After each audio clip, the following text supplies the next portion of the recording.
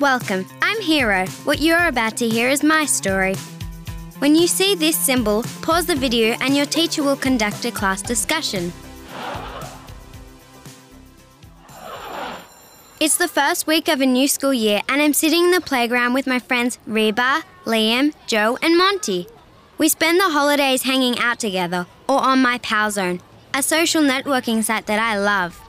We're all such close friends, we share one password to access our profiles. It's easier that way. Hey, see that new girl with the blonde hair?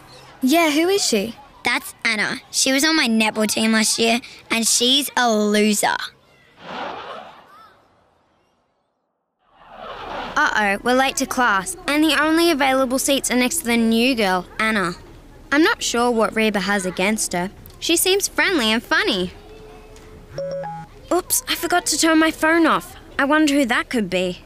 Anna is bad news.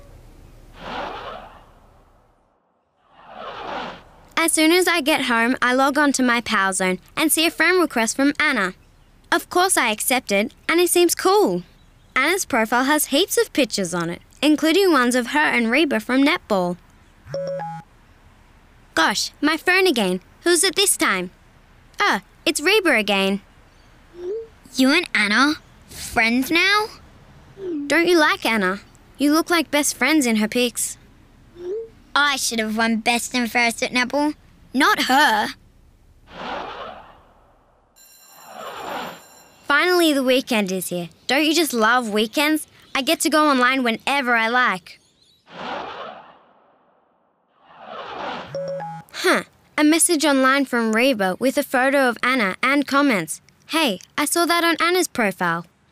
Hmm, Reba has clearly been using our shared password to access info on my account.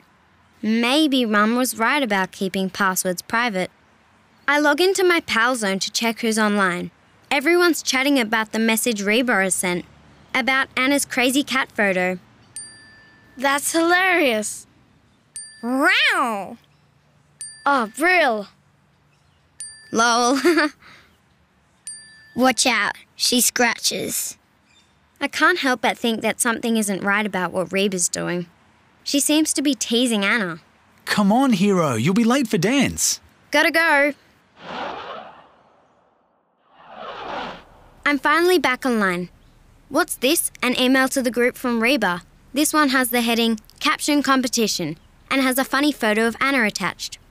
Reba wants us all to write a funny caption to go along with the picture. I've got one and I think I might stand a chance to win.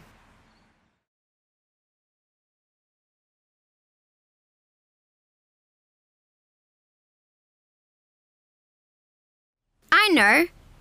Uh. Hang on, what am I doing? This isn't right. This seems like Reba is cyberbullying Anna and trying to get us all to join in. Maybe I shouldn't. I call Monty to chat about it. I see you won the competition. Yeah, Anna the Animal. Did you see that Reba sent the email to Anna? It might have seemed like a bit of fun, but imagine how Anna feels now. Yeah, I, I guess. I was just going along with everyone. Maybe we shouldn't have been doing this. I might message Anna to see if she's okay. Hi, I saw the email. You okay? No, I don't understand. What did I do? I saw what Reba was doing and I didn't want to be involved. I don't know what to do. I think this is cyberbullying. I don't think you can deal with it on your own. Why don't you speak to your parents or Mr. Tilly, the school counsellor? I'm sure he'll know what to do. Thanks, Hero. I will. I wonder how Reba is feeling right now. I mean, she is a good friend of mine, but I really don't think she did the right thing. It's been a few weeks since this Anna Reba stuff. Reba ended up apologising to Anna and understood that what she did was wrong, as did the rest of the group. Cyberbullying is never okay. Mr. Tilly spoke to the school about cyberbullying. Now, I'd like you all to remember that if you are ever in a situation where you or someone else you know is being cyberbullied, here are some tips. Report the bullying to someone you trust straight away, like a parent, a sibling, uncle or aunt, teacher, or a friend.